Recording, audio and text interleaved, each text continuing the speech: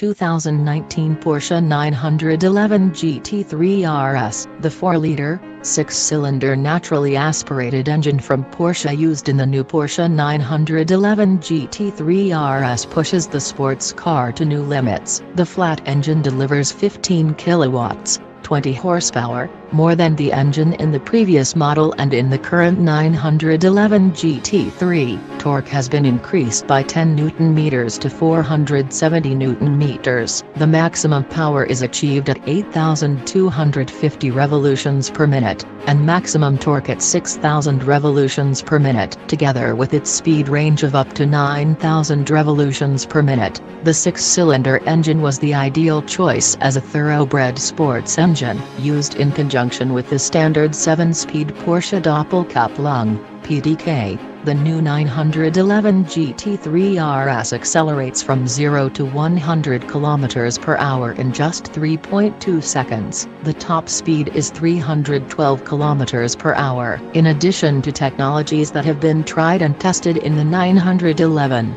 such as VarioCam, direct fuel injection and the variable resonance intake manifold, it is primarily solutions taken from the world of motor racing that make the engine of the Porsche 911 GT3 RS so robust and so stable at high speeds. A crankshaft with larger bearing diameters, wider connecting rod bearings, plasma-coated cylinder liners to reduce friction losses and wear and a significantly improved oil supply all contribute to the increase in load capacity and speed stability.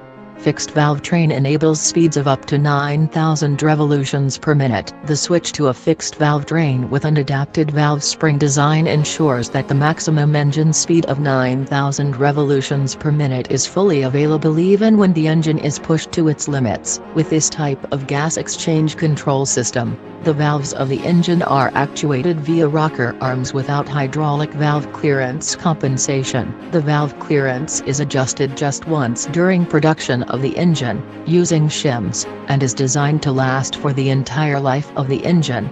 The oil supply of the engine is also based on motorsport principles, in addition to revving at very high speeds. The engine is also subjected to particularly strong lateral and longitudinal accelerations while driving on the racetrack. The dry sump lubrication uses a total of seven suction stages, which quickly and efficiently return the engine oil to the external oil tank. The oil pump ensures the optimum oil pressure for every operating condition. Another new feature is the particularly efficient oil supply to the connecting rod bearings which are placed under significant load. These are supplied with oil via a central oil supply into the crankshaft directly from the oil pump. The defoaming of the oil before it is fed to the separate oil tank via a centrifuge is also a completely unique feature in this vehicle class and originates from high-performance motorsport.